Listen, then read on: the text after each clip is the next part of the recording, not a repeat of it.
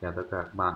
Trong video này mình sẽ chia sẻ với các bạn về cách sử dụng terminal Excel để SSH vào server. Bước đầu chúng ta sẽ vào Google search với keyword Excel, sau đó vào site của của Netsara và kích vào download Excel.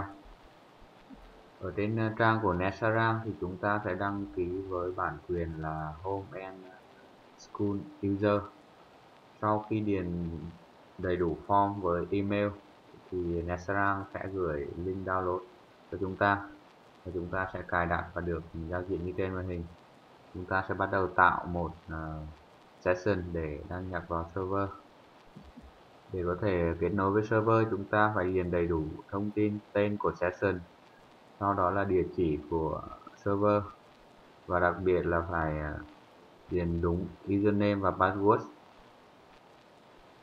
ở đây ờ, username của tôi là dev và password là password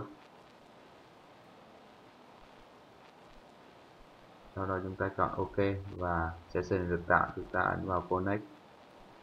Như vậy trên màn hình chúng ta đã kết nối được vào server qua giao thức SSH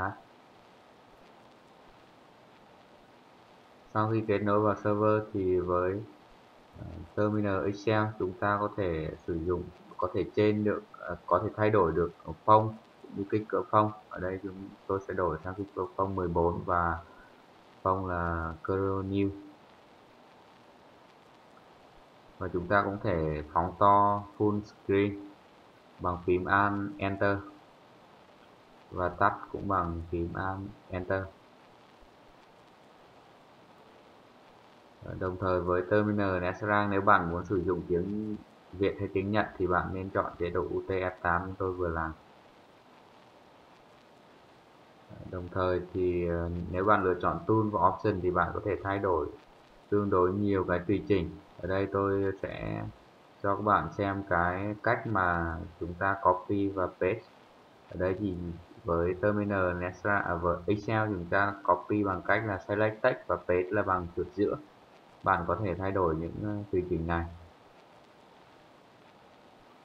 Cảm ơn các bạn đã xem video.